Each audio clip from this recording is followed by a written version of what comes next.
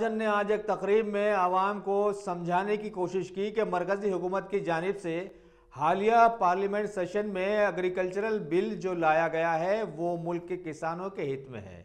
आपने हमारे चैनल को सब्सक्राइब नहीं किया है तो आपको यहाँ सब्सक्राइब बटन दिख रहा है। उसे क्लिक करिए और सब्सक्राइब कीजिए। और साथ ही साथ बेल आइकॉन को भी क्लिक करिएगा, जिससे कि आपको ताज़ा अपडेट मिलते रहे। रियासत तेलंगाना की वज़ीर तालीम पी. सविता इंदिरा रेड्डी ने आज ज़िले रंगारेड्डी के कोत्तूर मंडल में वाक़। एनुगु तांडे की एक तकरीब में शिरकत करते हुए हुकूमत के ग्रीन इंडिया चैलेंज को बरोकार लाया और वहाँ पर कई पौधे ज़मीन में लगाए।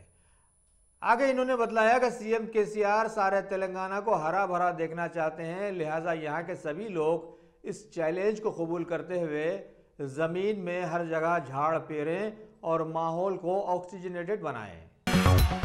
तेलंगाना की lady governor doctor T Soundararajan ने आज एक तकरीब में आवाम को समझाने की कोशिश की कि मरकजी हुकूमत की जानिब से हालिया पार्लियामेंट सेशन में एग्रीकल्चरल बिल जो लाया गया है, वो मुल्क के किसानों के हित में है और किसान बरदरी को इससे फ़ायदा पहुँचने वाला है। इन्होंने कहा कि किसानों को अभी तक मुल्क में सिर्फ़ इस्तेमाल किया जाता रहा है जबकि बीजेपी गवर्नमेंट ने इनके फ़ायदे के लिए ये बिल लाया है। वाज रहे कि गवर्नर बनने से पहले तमिलनाडु में हमारी लेडी गवर्नर बीजेपी की एक अहम कारकुन हुआ करती थी और बीजेपी वो हुकूमत है जिसकी सत्ता में आने के बाद मुल्क में पहली बार यहाँ का जीडीपी निचली सतह से भी माइनस में चला गया है। T S C B O A यानी Telangana state cabs and bus operators association के लोगों ने आज अपने सदर जो कांग्रेस के सीनियर लीडर भी हैं, सैयद निज़ामुद्दीन के साथ, खैरताबाद के आरटी ऑफ़िस के रूबरू हुकूमत के खिलाफ में ज़बरदस्त धरना देते हुए हुकूमत को याद दिलाया कि असम्बली सेशन शुरू होने से कबल हुकूमत ने इनको तयन दिया था कि लॉकडाउन अरसे का मोटर व्हीकल टैक्स वो माफ़ कर देगी। लेकिन अभी तक इस सिलसिले में कोई कार्रवाई नहीं की गई, जबकि हालिया लॉकडाउन के बाद सारे ऑपरेटर्स फाका कशी का शिकार बने हुए हैं। एक इनका क्या मसला है, जबकि समाज का हर हर तबके के लोग लॉकडाउन से मुतासर हुए हैं। लिहाजा इस मौके पर इन्होंने एक बार फिर सी एम के सीएम केसीआर से गुजारिश की है कि वो लॉकडाउन पीरियड का मोटर व्हीकल टैक्स माफ़ कर दें। गरीबों से हमदर्दी का दिखावा करने वाली टीआरएस पार्टी के दौरे हुकूमत में क्या क्या हो रहा है, ज़रा आप भी मुलायजा फरमाएँ। बतलाया गया है कि शहर हैदराबाद के मजाफाती इलाके खुदबुल्लापुर के मौजे गुजलारा मारम के 125 डिवीज़न में कुछ अराजी जिसका सर्वे नंबर नवासी है, उसे प्लॉटिंग करके कुछ गुंडे किस्म के लोगों ने गरीबों को बेच दिया। और जब गरीब लोग मकानात तामीर कर लिए तो अचानक अभी वहाँ के मुकामी रेवेन्यू अहदेदारों ने पुलिस प्रोटेक्शन के साथ वहाँ आकर ऐलान किया कि यह सरकारी अराजी है और इस तरह से धड़ाधड़ मकानात को ढाना शुरू कर दिया, जिसे गरीबों ने पाई पाई जोड़कर बनाया था। एक जानब तो हुकूमत डबल बेडरूम स्कीम के मकानात की आस दिए हुए है गरीबों को, और दूसरी तरफ़ हुकूमत का रवैया ऐसा साबित हुआ है कि शायद गरीब हुकूमत पर कुर्बान होने के लिए ही पैदा हुए हैं। कुल हिंद मजलिस इतिहादुलमसलिमिन के सदर बैरिस्टर असदुद्दीन अवैसी की सदारत में हल्के कारवान के गोलकुंडा डिवीज़न में अंजाम दिए जाने वाले बहुत सारे तरक्याफ्ता कामों का जायज़ा लेने के लिए पार्टी के M L A Kausar Mohiuddin ने आज मुकामी कॉरपोरेटर अज़ीज़ खां पठान के हमरा डिवीज़न के बहुत सारे इलाके जात, जैसे Akbarpura M D land Shah Hatim Talab, Virasat Nagar वगैरह का दौरा किया। इस मौके पर उन्होंने जी एच एम सी अहदेदारों को याद दिलाया कि सी सी रोड के काम रुके हुए हैं और नई एम पी थ्री पाइपलाइन के काम को भी जल्द से जल्द निपटाने पर इन्होंने ज़ोर डाला। इस मौके पर उनके हमरा कई इलाकों के सुदूर व मुतमदीन और हरकियाती कारकुन भी वहाँ मौजूद रहे। शहर हैदराबाद के मंगलहाट पुलिस हदूद में आज एक दर्दनाक हादसा रनुमा हुआ। सीताराम बाग सड़क से तेज़ी से गुजरने वाली एक पुलिस पेट्रोलिंग कार के नीचे एक सात साल मासूम लड़का कुचलकर हलाक हो गया, जिसकी शिनाख्त इंदिरा नगर के साकिन सात साल हर्षवर्धन की हैसियत से की गई। ये लड़का अपने वालिद की पंक्चर की दुकान के रूबरू बर्तन धो रहा था कि पुलिस की गाड़ी ने उसे मौत के घाट उतार दिया। मुकामी पुलिस के इंस्पेक्टर रवीर रेड्डी ने ड्राइवर के खिलाफ में केस बुक कर लिया, जिससे आया हुआ कि अभी इस हादसे की जाँच पहली बार पुलिस ही पुलिस के खिलाफ करने वाली है और नतीजा क्या आने वाला है यह तो सभी को पहले ही से मालूम है, क्योंकि हादसे वाली कार हीरो सलमान खान नहीं चला रहा था, वरना केस ज़रूर बन जाता।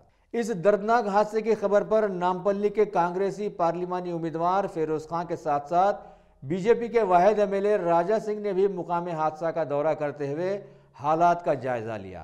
बहरहाल, एक छोटी सी गलती की बिना पर आज सुनहरी तेलंगाना में एक मासूम की जान आसानी से चले गई। सीताराम बाग पे पुलिस की रक्षक की नेग्लिजेंस की वजह से एक सात साल का बच्चा हर्षवर्धन का इंतकाल हो गया, वो मर गया। और इमीडिएटली मैं पुलिस कमिश्नर से अभी बात कर हूँ। और पुलिस कमिश्नर ये बात बोले कि हम उसको इमीडिएटली अरेस्ट करेंगे, जेल को भेजाएँगे और उसको सस्पेंड कर देंगे। और रही बात, कांग्रेस पार्टी से फिरोज़ खान, बराबर गवर्नमेंट को उसका एक्सग्रेशिया दिलाएँगे, उसका डैमेज दिलाएँगे, जो आपके लफ्ज़ों में कंपनसेशन बराबर करेंगे।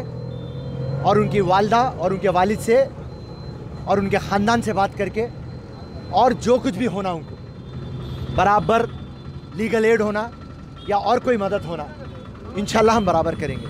जय हिंद, जय कांग्रेस, शुक्रिया, धन्यवाद। तेलंगाना के ज़िले विकाराबाद की खबर है कि आज कुछ रियासती वजरा P. Sabitha Indra Reddy, sports minister Srinivas Goud वज़ीर ज़रात एस. निरंजन रेड्डी और वहाँ के M. P. M. Srinivas Reddy सभी ने एकता का मुजाहरा करते हुए कोड़ंगल हलके में नई कायम की जाने वाली मार्केट वर्किंग कमेटी की हल्फिया तकरीब में हिस्सा लिया। हालिया दिनों में वहाँ के किसानों ने टीआरएस गवर्नमेंट के नए रेवेन्यू एक्ट की तारीफ़ में एक ज़बरदस्त रैली निकाली थी। वैसे इस मौके पर पी सबिता इंदर रेड्डी ने बतलाया कि किसान के बेटे होने के नाते सीएम केसीआर किसानों की भरपूर मदद करने के लिए दिन रात लगे हुए हैं।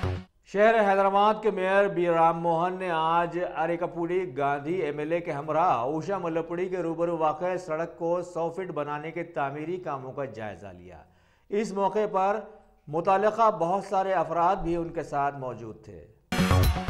तेलंगाना के मोइनामन मंडल में हालिया एक टीआरएस के वहशी लीडर की जानब से मुस्लिम minor girl rape and murder case के सिलसिले में आज एबीवीपी के तलबा ने बड़ी मुश्किलों से खैर सगाली का मुजाहरा करते हुए खसूरवार के ख़िलाफ़ में एहतजाज किया और उसे सज़ा देने का मुतालबा किया।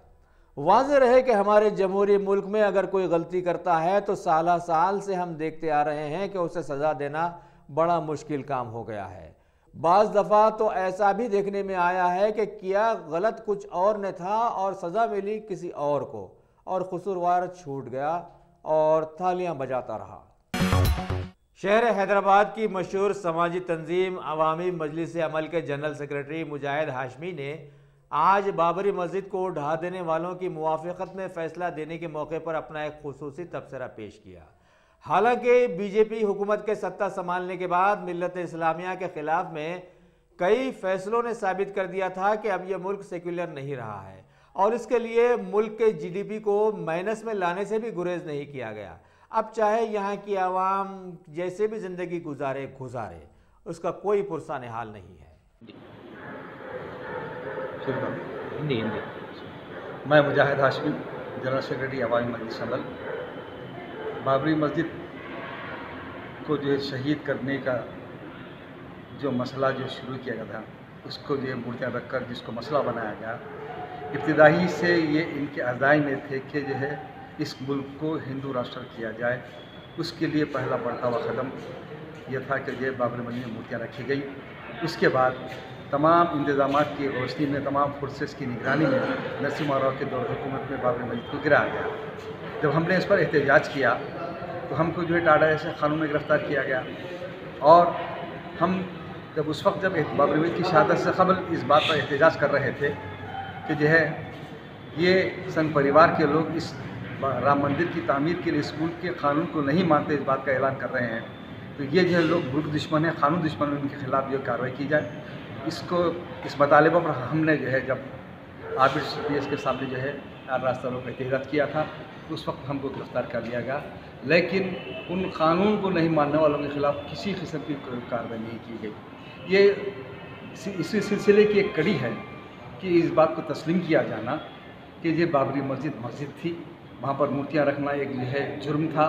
बाबरी मस्जिद को शहीद कराना भी एक जुर्म था और वहाँ पर मौजूद लोग जो क़ियादत कर रहे थे और लोगों के जज्बात को उभार जो रहे थे कि बाबरी मस्जिद को एक धक्का और दो बाबरी मस्जिद को तोड़ दो उनको आज बाजत बरी किया जाना ये इस बात की अलामत है कि ये भी फैसला भी जो है, इस मुल्क के दस्तूर को, जमहूरियत को, कानून की बालादस्ती को, हुक्मरानी को ख़त्म करने की तरफ़ आगे बढ़ता हुआ ख़त्म है, ताकि एक मुल्क मुकम्मल तरीके से हिंदू राष्ट्र बन जाए। उस फैसले का दूसरा पहलू ये रहेगा कि इससे वो असरा जो मुरतब होंगे इस मुल्क की, उस जहनीत पर, जो इस मुल्क के कानून को नहीं मानते, वो तो ये कहते हैं कि जो है अयोध्या तो झांकी है, काशी मिथ्रा बाकी है। इनके लिए एक नमूना बन जाएगा कि हम जो भी जुर्म करेंगे, जो भी हम जो जुल्म करेंगे, किसी भी तारीफ़ इमारत के, किसी भी इबादत को गिरा देंगे तो हमको जो है, हमारा कोई बिगड़ने वाला नहीं है। हम बाइज़त बरी कर दिए जाएँगे। कानून की कोई हैसियत नहीं है कोई उसको जो है, अहमियत नहीं है। क्योंकि ये कानून बनाया गया इस मुल्क के एक सपूत, एक दलित की तरफ़ से। लिहाजा इस बात का तासुर लिया जा रहा है। कि इस मुल्क में जो है, आज भी ब्राह्मणों की बालादस्ती है। ये मुल्क हिंदू राष्ट्र उसी वक्त हो सकता है, जबकि इस मुल्क में ब्राह्मणों की बालादस्ती रहे और भीमराव अंबेडकर के जो कानून को जो ख़त्म किया जाकर इस मुल्क के तमाम जो है आवाम को जो जो है, जमहूरियत पर, सेकुलरिज्म पर आखिर, उस पर जो है एहतराम करते हों, उस पर तहत चलना चाहते हों खा वो मुसलमान हो या दलित हो कोई और हों, उनको ये इंतबा दिया जा रहा है कि आपको अगर इस मुल्क में जीना है तो हमको जो है हिंदुत्व के बालास्ती के लिए है, तस्लीम करते हुए और ब्रह्मनिज़म के बालास्ती को तस्लीम करते हुए जीना होगा। ये फ़ैसला इस मुल्क के लिए इंतहाई सियाह और संगीन है, लेकिन हमको उम्मीद है हमको कोशिश करना चाहिए कि जो है इस किस्म के जो आज़ाम हैं, उसको जो है ख़त्म करने के लिए तमाम इस मुल्क के जो दस्तूर को चाहने वालों को, इस मुल्क के कानून के से हुक्मरानी को बाकी रखने वालों को आगे मिलकर, जुड़कर जदोजहद करनी चाहिए ताकि ये मुल्क की तबाही से बचा जा सके। पेद्दापल्ली के एक सीनियर टीआरएस लीडर पर हमले और खिलौने की पिस्तौल से डराने, धमकाने का वाक़ पेश आया है। पुलिस के मुताबिक चार नामालूम अफराद कल रात इन देवैया के घर पहुँचे और उन्हें घर के बाहर तलब किया। जब उन्होंने घर के बाहर आने से इनकार किया तो उन्होंने देविया को खींचकर बाहर लाया और खूब जदोकोब किया। अराजी का तनाज़ा इस हमले की वजह हो सकता है। रेलवे स्क्रैप की लारी में शराब की मुंतकली के सिलसिले में रेलवे के तीन मुलाजमीन को आंध्र प्रदेश की पुलिस ने गिरफ़्तार कर लिया है।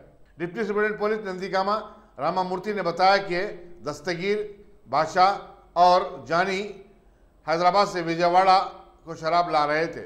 लारी से तिरसठ शराब की बोतलें बरामद की गईं। थिरुवुरु पुलिस ने ज़िले कृष्णा में मंदिरों की हुंडी से रकम का सरखा करने वाले एक पचास साल शख्स को गिरफ़्तार कर लिया है।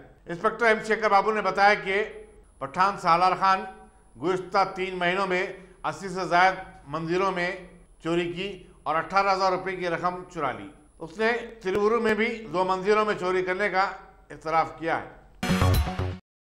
टॉप सिलेक्शन कंप्यूटर्स अगर आप टेक्नोलॉजी के दौर में रहते हुए टेक्नोलॉजी से दूर हैं तो सोचिए मत। आइए एक बार खिदमत का मौका दीजिए। हमारे यहाँ branded computers Dell H P Lenovo laptop accessories उम्दा क्वालिटी नहायत वाजबी दाम पर दस्तियाब है।